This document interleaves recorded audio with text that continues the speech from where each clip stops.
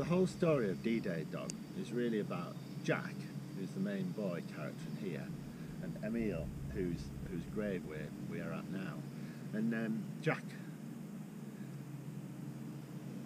Jack feels that he doesn't want to place his cross in Emile Corteil's grave, and it troubles him. And sometimes he thinks he wants to, and sometimes he thinks he doesn't. Um, and and at the end of the book, he sort of comes to a conclusion about what, what he's going to do. Um, and I think I should just read it. Jack could tell which grave it was.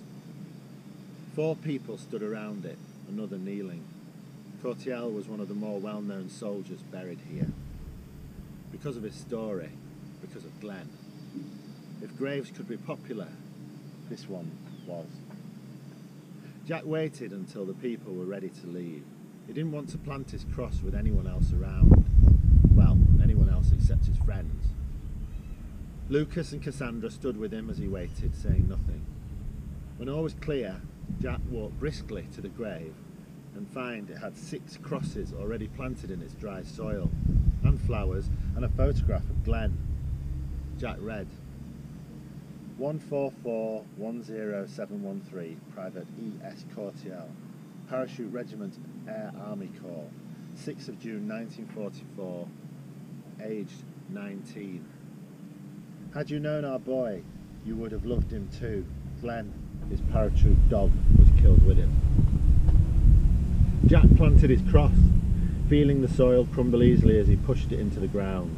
He wondered if he should say something He'd seen films where people went to graves and spoke, but he didn't really know what to say. He coughed and stared at the ground, read the inscription at the bottom of the grave again, coughed again. He wanted to speak, just to say something.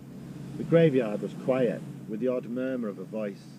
Otherwise, there was only the sound of the birds and the wind rustling in the branches and leaves. I'm sorry, Jack said, for blaming you, you know, for Glen. And I wanted to say thank you too for doing what you did, both of you.